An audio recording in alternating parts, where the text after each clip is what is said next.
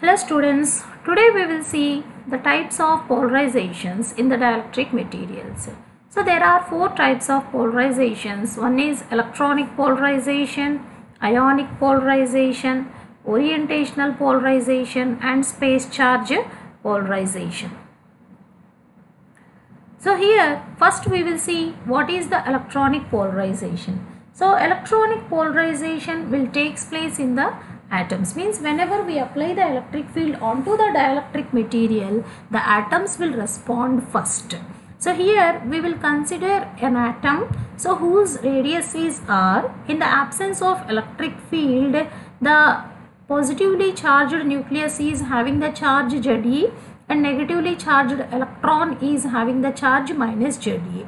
So first we will write the charge density of an atom. So the charge density is equal to charge by volume means the negative charge distribution along in the atom can be considered. So that is nothing but minus Ze by 4 third pi r cube as the atom is in spherical shape we can consider it as 4 third pi r cube. So rho can be written as minus 3 by 4 Ze by pi r cube. Now, we whenever we apply the electric field onto this atom, this positively charged nucleus moves in the direction of electric field and negatively charged nucleus moves in the opposite direction. So, hence the charge separation will occur, atom is converted into dipole. So, though we have uh, drawn a little bit bulgation in the atom, but in, uh, in reality, the atom shape is in spherical shape, but the negative charge distribution after the application of electric field changes in the radius x. Hence, the atom is getting dipole and that dipole is having the dipole moment and the dipole moment is proportional to electric field and that dipole moment proportionality constant if you can remove this proportionality constant alpha E is known as electronic polarizability value. Now we have to find out this one.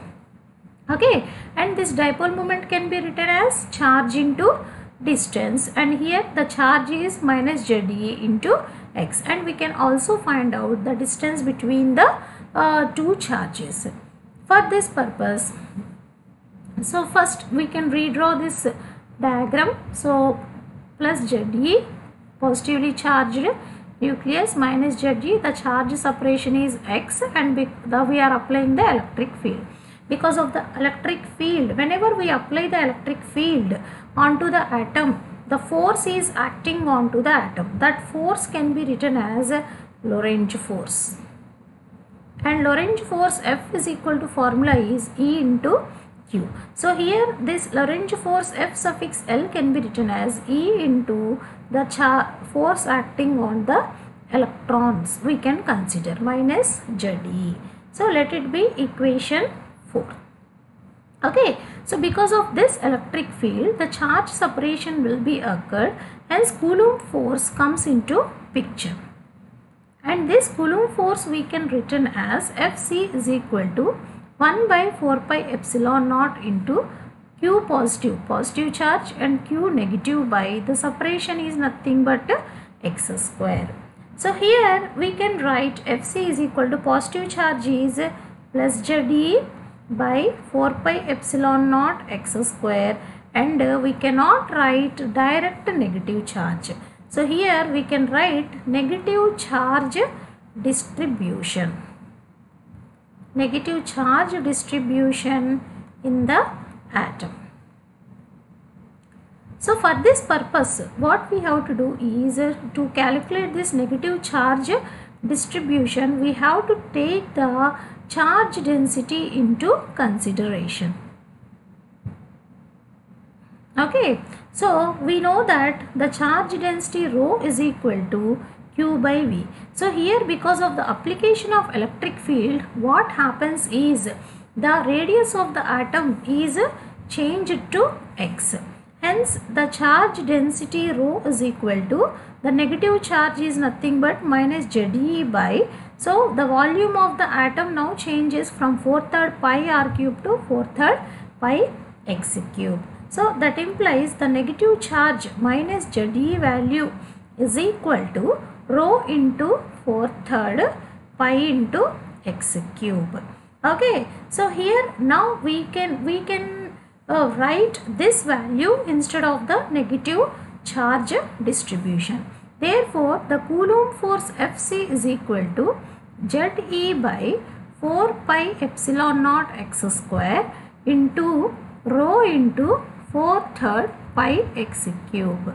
And from equation 1 we can write 4 pi epsilon naught x square. So rho is nothing but minus 4 by 3 we can write here from this equation minus 3 by 4 ze by pi r cube minus 3 by 4 ze by pi r cube into 4 third pi x cube. So this value we have written from equation 1. So now you can see here minus 3 by 3 by 4 4 by 3 get cancelled and here pi pi get cancelled and we left over with minus z square e square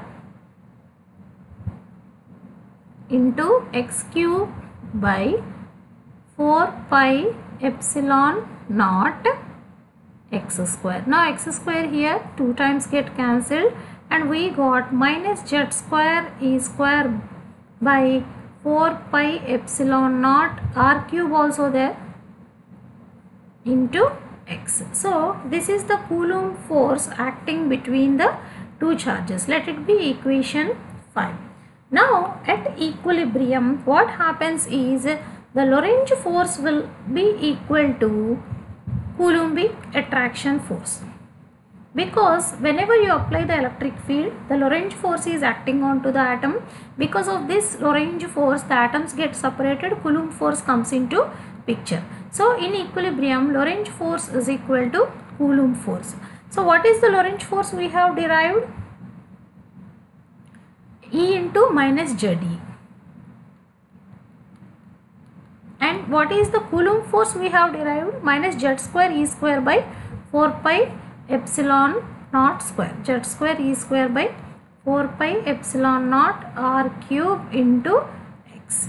Okay? On both sides minus get cancelled and ze one time get cancelled for implies x is equal to we got 4 pi epsilon naught r cube by ze into e. So this is the distance between the two charges when the electric field is uh, applied.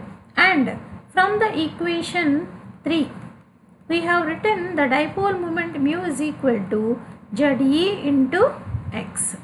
Okay so mu is equal to dipole moment we can write ZE into 4 pi epsilon naught r cube by ZE into E. Now ZE ZE get cancelled and mu is equal to 4 pi epsilon naught r cube into E. Now if this equation is compared with mu is equal to alpha E into E then this 4 pi epsilon naught r cube can be considered as electronic polarizability. So this is the electronic polarizability expression which doesn't depends upon the temperature. Therefore electronic polarization can be written as P is equal to N into mu formula P is equal to N into alpha into E. So P is equal to N E into 4 pi epsilon naught R cube. So this is the electronic polarization expression and this is the electronic polarizability expression. Hope you understood this session.